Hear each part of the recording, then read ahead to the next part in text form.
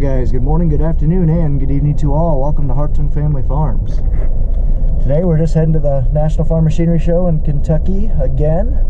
Uh, GPS decided to take us through downtown, even though we were we stayed 20 miles out of town. Not sure on that one, but uh, it's all right. Uh, what, two miles. So yeah, so it's actually it's pretty neat.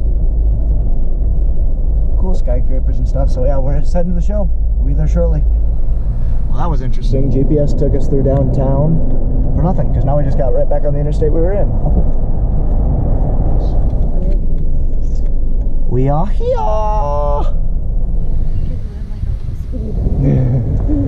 He's happy. They're very happy to be here. Well, Kristen, what do you want to accomplish today? Read my book. She wants to read her book. Good. Alrighty guys, so we're just out and about right now. Trying to get some stuff recorded before the swarm of people on Saturday. Like I said, I've heard Saturday's the busiest, busiest day around here, so trying to get some good good Instagram pictures for you before we take before uh, this place gets flooded. So see if I run into anyone when I'm out and about. And again, I apologize for the crappy audio quality. Um, this will be the last, either the second to last or last video with this crappy audio. So again, I apologize, but ooh, they got they got the tractor covered up. They must be doing a reveal this morning. We'll get some pictures. This is kind of neat, guys. So this is a Venturi 380. I have never seen one of these. It's a Vector, I believe, Vector machine. Yeah, it's made by RBR. It's a Vector, but this one's called the Venturi 380. It's supposedly the largest row crop applicator with 380 cubic yards of capacity in the back. It's an air boom. One thing I wish we did more of was have a little bit more uh, skid steer attachments that kind of help clean up our timber. So I think, so right now we have a grapple bucket, we have a kind of a clamp, kind of a clamping thing to pull out trees, but one thing I really wish we had was a stump grinder. That thing would be really nice. I will say the Case booth does keep the day pretty entertaining. Uh, they always have good music playing.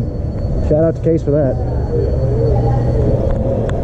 Alright guys, I'm to climb up in this Claas Axion 880 tractor. Never seen one of these before. I'm just to kind of explore in it a little bit. So the hydro handle or the CVT transmission controller, I believe it's a CVT, I don't see any power shift levers on it, is basically the same type of egg type controller that's in the combines. Because it's basically just like an egg. It's the only type of hydro handle S, that's what I'm going to call it, just because that's what I'm used to with combines. It's the only type that has like an egg. All the other ones are more sticks. That'd be kind of interesting. It's a good. It feels nice in the hand. There's a lot of controls going on here. It would definitely take some getting used to, but it's got a front PTO and a rear PTO. It's attached with a triple mower right now, but like I said, this is an Axion 880. To me, that means it's one of their bigger Class 8 tractors, and it seems like it. It's a decent sized tractor, but it could be a Class 7 too. I'm not sure on that one, parking brake up here. It's got a left-hand shuttle reverse, for rearward loader controls. So it seems like just about every run-of-the-mill tractor. And I'm trying to decide the thing. I'm not sure what would actually differentiate it from, let's just say a Deutz Fahr or something. But I don't know. It seems like a nice clean tractor. It's got a lot of room in here. I think it's got more room than the du than the Fahr. Oh, I like it. I've just never seen one before, never been in one, so it's just kind of interesting to see it. Alrighty guys, I've always wanted to check this thing out. It's Hydromax 3320 V-Plow. This thing is huge. It's got 20 plus long, foot long tracks. It's easily 15 feet tall. So let's climb up it. Not a most luxurious cab in the world, but you don't need to have a luxurious cab when you're you got something this big. You're basically out here, you're doing work. So it's got a nice cab, it swivels. It's got guidance controls, all the controls you need. I'm Guessing this is for all. I think this is, just reading it, it looks like this is everything to do with the blade. This one's actually running the propulsion, I'm thinking. But it's, that thing is huge. Like that, the tip of that receiver looks like it's at least 15 feet. Taller than the cab. But it's actually a pretty roomy cab in here. Like this, this cab is huge. Nothing special, but it's got a nice knack box built in, which can double as a seat. Oh, I don't know. Anybody else recognize this from Farm Simulator? The side dump and rear dump Fliegl. That's awesome. Just like in Farm Simulator. It's pretty cool. So this is a cat skid loader. This is probably one of the coolest paint jobs I've ever seen on a skid loader. That's awesome. Whayne dealerships. They sell cat equipment it looks like. That is one cool paint job. Of course it's already sold. oh, that's awesome. Learning to do, doing to learn, earning to live, living to serve. That is one sweet paint job, guys. All right, guys, I'm at the Fendt booth right now. I'm in front of a Fendt Vario 714. So this is a equivalent tractor to that, um, I believe, to that 880. At least very similar in class sizes. They might be a class 7 to class 8, but let's hop inside this Fendt tractor. Never been in a Fendt tractor before. Again, it just kind of got that European style feel, in my opinion, where it's got everything is colorful and it's got, I'm not impressed with the touchscreen, but I mean, it's probably their low spec option. They probably have a high, I'm assuming they have a higher spec option, but it's pretty luxurious cab. I'm not gonna lie. Like all the, just the interior fit and finish is just very automotive quality in my opinion. Like, it's gotta be a CVT. Yeah, because there's no gear shift, so it's gotta be a CVT. I don't know. I don't really like how this grip is. But I mean, there's a lot of controls that get packed into this. There's controls on the back side. Looks like it's got a creeper mode. I'm assuming. Cruise, and then go forward, rearward. There's a lot of stuff that goes into this, but this would take a lot of get used to. But honestly, the, the controls are pretty compact, though. I mean, there's a lot going on, but they're pretty compact. Like that, uh, the Deutz, the Deutz Fahr and the uh, the Claas. That was kind of there were controls just about everywhere but here it's just you got controls right here. Obviously you get your SCVs and stuff like that. Then you got this for your propulsion you get your loader and then you got three points. I mean it's all pretty compact. And you got some more controls on the screen but I mean that's just like all your lights windshield wipers. So I kind of like how this is laid out guys. Actually really like this. It's probably my favorite tractor I've ever I've never driven before just for interior wise uh, compared to that Deutz and that um, Claas and the JCB. Fendt definitely has a reputation of being like a more higher quality tractor, so I can definitely see why. But oh, I'm impressed. I kind of like it.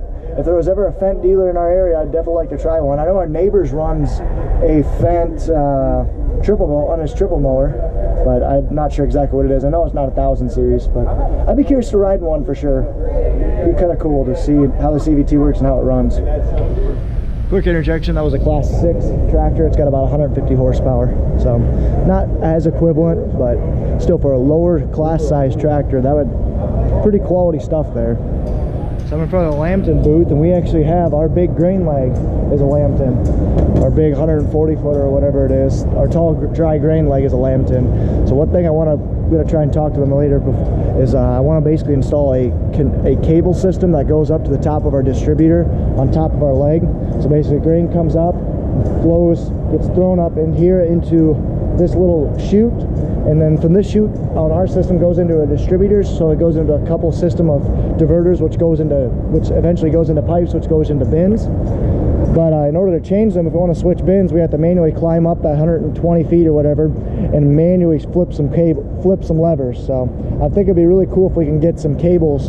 That way we can do it from the ground. So I'm gonna try and talk to them and see if I can get some information on instructions on how to how to do that but yeah right here is that's what a distributor looks like that's not quite what ours looks like but that's what a distributor looks like one feature that's really unique that I believe only John Deere zero turn mowers have is what they call an X-Tweel turf or a, a tire that has air an air tire like feel but it never can go flat on the Z930M. I believe it's only on the Z900 series, but essentially instead of having air on the outside, the rub outside rubber is still the same, but instead of having air, it has these little uh, I don't know what even to call them, but these little uh, rubber deflector kind of plates. As you can see, they kind of deform as they get as they go down uh, towards the bottom, so they carry the weight, and then they kind of spring upward and get uh, get back return to their normal shape when they go uh, towards the top end of the tire. So definitely a cool thing. I don't think any other competitor has,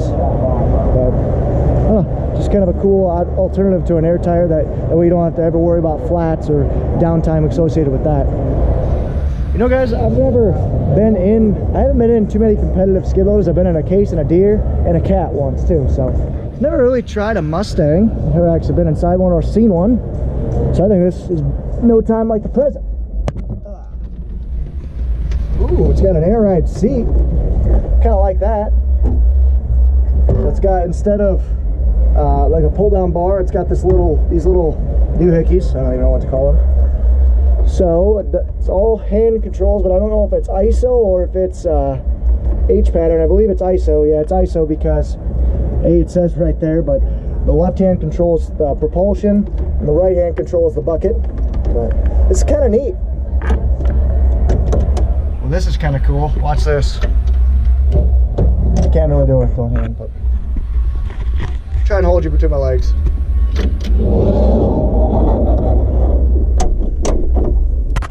Now that is an interesting style door, guys. It's kind of bifolds down like a bifold door, but I mean, it's got plenty of clearance for me to get in, and there's no the one thing I hate about our case is the door that opens up. You can only you have to be your bucket has to be all the way down all the way up. Um, so you really can't be halfway up or doing something or carrying a load we'd be able to get in and out of your cab. Well, this thing, you can basically get in and out no problem. It doesn't matter any level. So this is really cool. Really cool. But all your controls are right here. Oh, I kind of like it. I don't know if there's a dealer in our area, but I don't know. I, re I really like this thing. No, I don't know anything about the quality or how long they last or anyone else's impression of it, but I don't know just the overall fit and finish of the cab and aesthetics and everything, plenty of room. Oh, I like it. One thing that would worry me though, I guess, would be how long these rollers would last. So watch when I unlock that one, this, those rollers right there that this that, that track goes on, I just wonder how long they last in the muddy conditions that we have. So that's the only thing I worry about, but still, it's pretty cool. In the spirit of trying things out, let's try a Gehl. This one's got the same style of entry door. Okay, that is a little bit less room than I thought before, but actually this looks like the exact same. This is the exact same.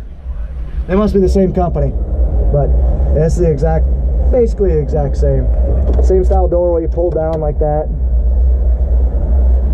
Same style, ISO, ISO controls. Yeah. So Mustang and Gehl are the same, didn't realize that looking at it from the backside, but Isaac's got a pretty cool tower of tractors. It's a pretty cool display, I'm not gonna lie. Man, like an hour into it and this place just got flooded. Way more people than yesterday already.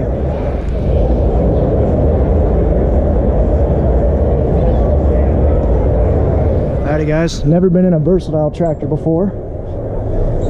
Well, should say I we used to own an old Ford Versatile, but I've never been in a Versatile mechanical four-wheel drive. So this is a Versatile 265. And it just seems like another tractor, I'm guessing. Not really sure all the controls here, but I'm thinking this is, I actually kind of like this.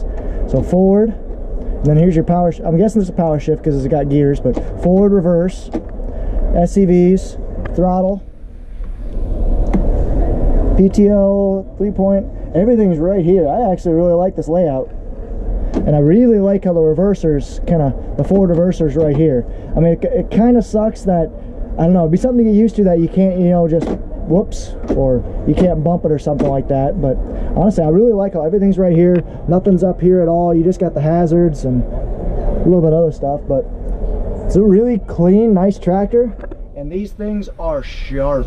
Oh they, they are catching people's eye. I love it Alrighty guys, so I found out a little bit more about this doohickey behind me. So it's actually a hemp harvester Hiniker is working on. So basically what their concept is to essentially merge a bean cutting platform and a loading system. So essentially, you can you can load a truck from either side. So it's got conveyors. This one's missing its wing, its second wing, but basically you can load a truck from either side. You pull it with a tractor, almost like a hay bind, where you can swing it from side to side, depending on which way you're going. And you essentially you cut off the plant, you lay it you lay it back onto the conveyors, and it goes right into a truck for processing. So it's an interesting concept from Hin from Hiniker, and. Uh, quite honestly, I had no clue what it was. I mean, my best guess was something with the cattle industry, but it's kind of a cool concept. He, he said the engineer was here a couple days ago, so I, am a little upset I missed him, but oh well. I mean, this thing's it's definitely interesting, that's for sure. We'll see. We'll see if anything comes of it, especially with all the new hemp stuff going on. So this is kind of an interesting idea, guys. Where instead of a conventional hay feeder that's made out of steel tubing, it's made out of, I believe, plastic. Not sure just looking at it, a, it also preserves it, so it kind of keeps it all in the center and doesn't let it actually touch the ground, the hay bale. So it's kind of an interesting idea. I guess I'm not a big fan of it because A, it's very heavy. Oh, what I like about our current hay, hay feeders is that you can uh, move them by hand. You don't have to need anything to move them. And I don't know, I just don't really like the idea because if something breaks, like how are you going to fix it? I mean, steel, you can weld it. I don't know if you'll be able to fix that very easily. So, I don't know not a big fan of that idea, but it's a good concept. It's definitely something different. Um, but I was thinking that it was something lightweight. That's what that was, but oh well. I just got a bunch of information on this stuff, guys, and I completely forgot to video it. So, someone designed a lift kit for the R-Series sprayers. Interesting. So he said he gets it up to 80, 78 inches of clearance, ground clearance, by replacing factory struts, factory airbag with new things, and just manipulating the hoses. It's really interesting. Really, really interesting. I mean, heck, I can almost walk underneath it. You can't do that with an R-Series sprayer.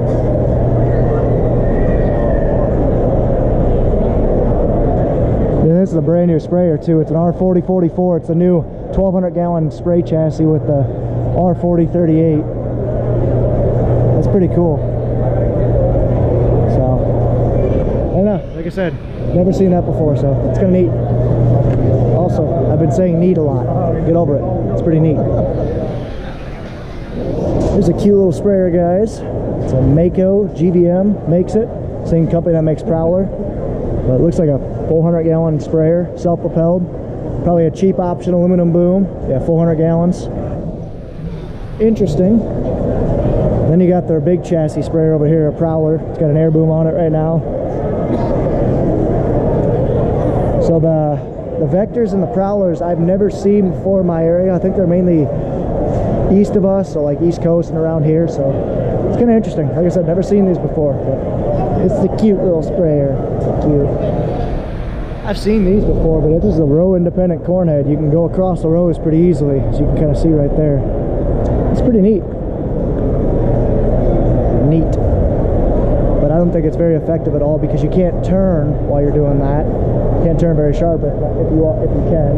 Um, plus, like you just leave it, doesn't leave the best residue from what I saw. And if you just watch someone going across the rows, they're just bouncing, bouncing, bouncing. So I mean, it just I don't know, cool concept, but they need to refine that so you can turn. Once you can turn with that, that's gonna be really nice. As I said before, guys, every single company has one of these. Everyone. Everyone everyone. It's a zoo with so many kids, which is good. They learn about agriculture. They're just getting on equipment and loving it. I'm in the west building right now, and basically there's a lot of smaller, like, you know, one-off repair parts, you know, replacement wear parts, smaller companies, a lot of cattle stuff over here, so it's pretty interesting stuff here, but nothing terribly worth videoing. But there were a couple of companies I found that I'm doing some spotlights on, so definitely check them out in the video. Alrighty guys, so I'm taking the long way around, or I'm taking the shortcut back instead of cut through everything and fighting all the crowds of people. They weren't kidding, Saturdays definitely is the busiest day, but Oh, it's still a lot of fun. So I have spent a total of a day and a half walking around this show, and I can say that I've walked by every single booth, but I haven't spent near the amount of time that I would have wanted to basically looking through and talking to people. But I did talk to some. I got some good uh, good product information for you guys of products that I thought would be useful on our farms and some some stuff I did buy. So just passing it on to you guys. But uh, that's gonna be the not one video, another video that I'm doing. But uh, but yeah. So let's see. I'd say thoughts on the show would take i'd say two full days here would probably be enough to see everything bare minimum but yeah definitely two days if you want to get a good experience here so yeah we're gonna head back see if we can find any more people any more things that interest me. We're Kristen and I are taking off here in a couple hours so, so look how slick the styling is. This thing is awesome. Pretty slick looking Alrighty guys, well, I just want to thank every single YouTuber that, I, have met so far and all, the, all everyone that I've met here. They've been awesome to talk to, great advice that was given to me, and it was just a really fun time meeting the guys that are just, you see every day on YouTube and stuff like that. It was really cool to meet them and talk to them. Just, they're really cool guys, so I appreciate everyone that I've met so far. I appreciate everyone that's helped me out, and it's been a blast. So I hope you guys enjoyed this video. If you guys did, be sure to like, comment, and Ice cream is the best. Oh, you were supposed to feed me. can't can't find good help these days. Cookies and cream ice cream is the best.